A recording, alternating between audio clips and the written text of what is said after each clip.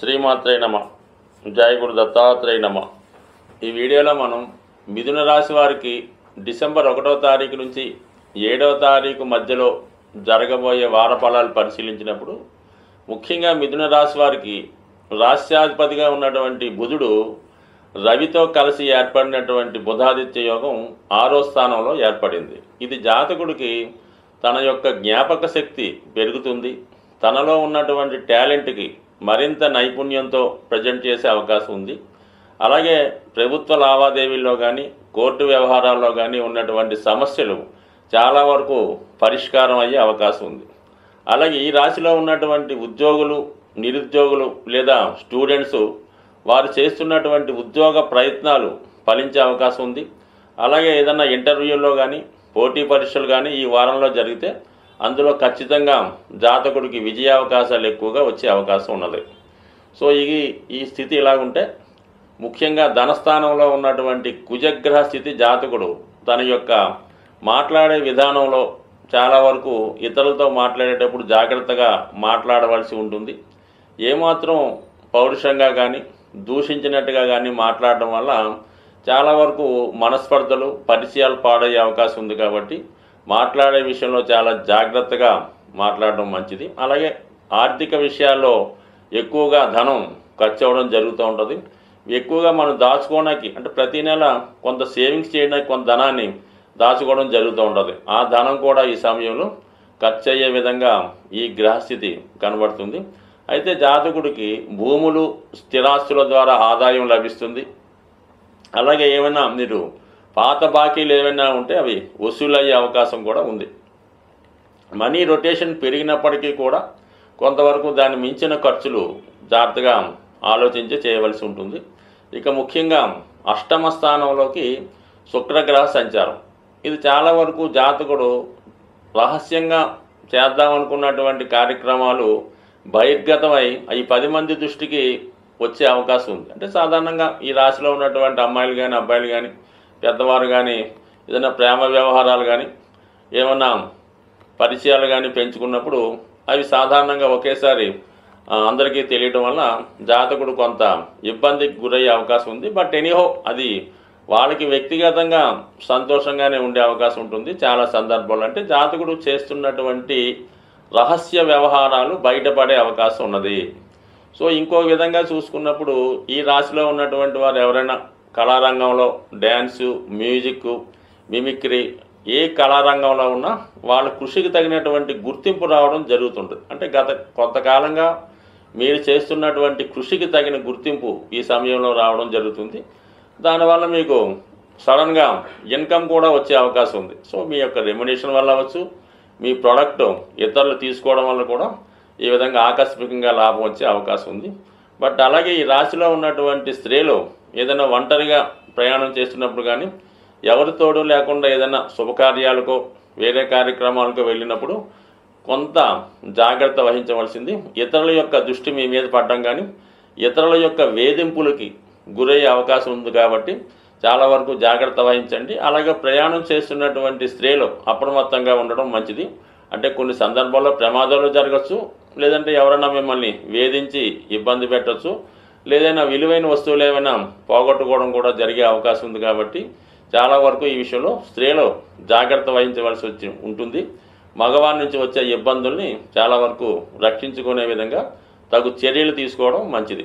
So అలాగే పన్నెండో స్థానంలో ఉన్నటువంటి గురు భగవానుడు వక్రగమనంలో ఉన్నప్పటికీ కూడా నవాంశలో కర్కాటక రాశిలో ఉచ్చులో ఉండడం వల్ల జాతకుడు కంపల్సరిగా పుణ్యక్షేత్రాలు దర్శించడానికి పుణ్య కార్యక్రమాల్లో పాల్గొనడం మంచి కార్యక్రమాలకి దైవ కార్యక్రమాలకి విద్యార్థుల యొక్క చదువుకి కొంతవరకు ధనాన్ని డొనేషన్గా చేసి అంటే గుప్తంగా దానాలు చేస్తుంటాడు. ఇతను ఇచ్చినట్టు ఎవరికి తెలియదు అనమాట అంటే కంపల్సరిగా మంచి కార్యక్రమాలకి ధనం ఇవ్వడం జరుగుతూ ఉంటుంది. అలాగే దూర ప్రాంతంలో ఉన్నటువంటి పుణ్యక్షేత్రాలు దర్శించే ఆలోచన కూడా ఉంటుంది. దాన్ని అమలు చేయడం కూడా చేయొచ్చు.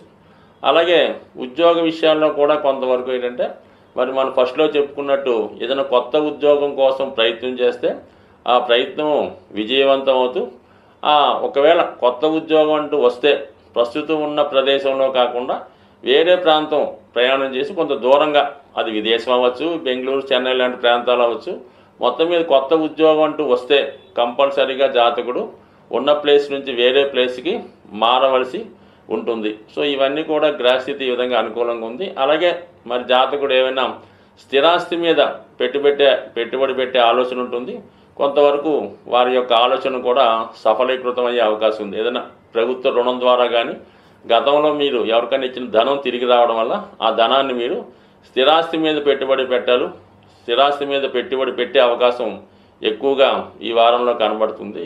ఈ వారంలో మరి సుబ్రహ్మణ్య షష్ఠి రాబోతుంది డిసెంబరు ఏడో తారీఖున సుబ్రహ్మణ్య షష్ఠి అలాగే ఆరో తారీఖున నాగ పంచమి రావడం జరుగుతూ ఉంటుంది.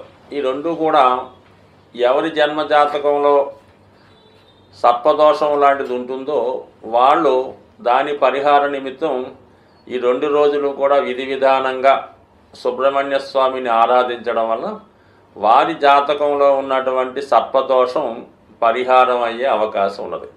అంటే అసలు సర్పదోషం ఏ విధంగా ఉంటుంది?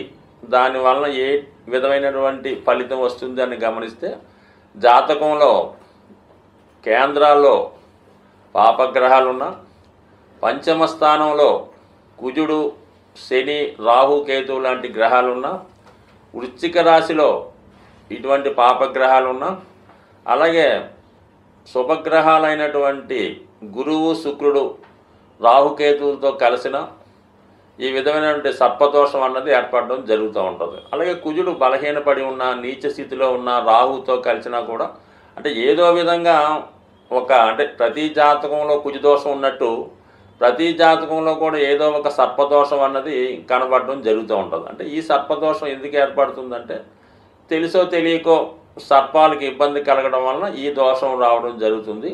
ఇది ఏడు తరాలుగా జాతకుణ్ణి బాధించే అవకాశం ఉంది. అంటే మీ పూర్వీకులు ఏడు తరాలుగా అటు ఇటు వాళ్ళు ఏ దోషం చేసినా అది కుటుంబంలో అందరికీ రావాలనే ఏం లేదు. ఎవరో ఒకరికి రావచ్చు. మళ్ళా అది ఎక్కువగా ఈ సర్పదోషం మరి పిల్లలు కలగడంలో ఆలస్యం అవుతుంటుంది. ఎవరి జాతకంలో ఈ సర్పదోషం ఉన్నా వాళ్ళకి ఏమవుతుందంటే సంతానం లేటుగా పుట్టడం. పుట్టినాకాలు పుట్టినవారు చాలా బలహీనంగా ఉండడం. ఆరోగ్యకరంగా లేకపోవడం విద్య రాకపోవడం ఏదో ఒక రోగం వస్తూ ఉంటుంది. అలాగే ఏంటంటే జాతకుడు చెడు వ్యసనాలకి లోనవుతూ ఉంటాడు. తల్లిదండ్రులను హింసించడం ఇంట్లో డబ్బులు పట్టుకుపోయి ఖర్చు పెట్టడం తాగుడు లాంటి కార్యక్రమాలు చేపట్టడం పగలంతా నిద్రపోయి రాత్రులంతా మేల్కొని వివిధ ప్రాంతాల్లో సంచరించడం ఇవన్నీ కూడా జాతకుడి యొక్క సర్పదోషానికి కారణమవుతూ ఉంటాయి. ప్రస్తుతం రుణ బాధలు. ప్రతి జాతకుడికి కూడా అంటే ఎవరైతే ప్రస్తుతం రుణ బాధలతో ఇబ్బంది పడుతున్నారో అంటే రుణ బాధలు అంటే ఏదో ఇల్లు కట్టుకొని హౌసింగ్ లోన్ తెచ్చామండి. కారు కొనుక్కొని హౌసింగ్ లోను అమ్మాయికి పెళ్ళి చే అది రుణ బాధలు కాదండి. మీరు ఏదన్నా వ్యసనానికి లోనై ఏదో పేకాట డబ్బులు పోగొట్టుకోనో ఆన్లైన్లో డబ్బులు పోగొట్టుకోనో ఉద్యోగంలో డబ్బులు వాడేసి యజమాని డబ్బులు వాడేసి అది బాగిపడడం అన్నది రుణం తప్ప మన బాధ్యత కోసం పిల్లల్ని చదివించడానికి తల్లిదండ్రులను వైద్యం చేయడానికి అప్పు చేయడం అంటే ఆ అప్పుల బాధలు మీకు నష్టం లేదు. దానివల్ల మీకు పెద్దగా ఇబ్బంది ఉండదు. ఈ విధంగా మీరు వ్యసనానికి లోనై స్త్రీలకి డబ్బు వ్యసనం పెట్టడం ప్యాకెట్ ఆడటం వల్ల అవి చాలామంది అప్పుల పాలు అవుతుంటారు అది అప్పుల పాలు అవటం వాళ్ళు ఎక్కువ ఇబ్బంది పడుతుంటారు. అటువంటి వాళ్ళు ఈ నాగపంచమి సుబ్రహ్మణ్య షష్ఠి రోజు విధి విధానంగా వీలైతే ఉపవాసం ఉండి సుబ్రహ్మణ్య స్వామి ఆలయాన్ని దర్శించి మరి విధి విధానంగా స్వామిని పూజించుకోవడం వల్ల అంటే ఏదో ఒక్క రోజు చేయడం వల్ల సరికాదు. ఆ రోజు ఒక దీక్షగా మనం ఈ రోజు నుంచి ఈ నియమం పాటించాలనుకొని కంటిన్యూ చేసుకుంటూ దగ్గరలో ఉన్నటువంటి సుబ్రహ్మణ్య క్షేత్రాన్ని దర్శించడం వల్ల ముఖ్యంగా సుబ్రహ్మణ్య స్వామికి బెల్లం పానకం చెరుకు రసం తేనె పాలు అలాగే చలివిడి నైవేద్యంగా పెట్టి విధి విధానంగా పూజించడం వల్ల కంపల్సరిగా మీకు సర్పదోషం తొలగి మీరు మీ కుటుంబం అంతా సంతోషంగా ఉంటారని ఆశిస్తూ స్వస్తి.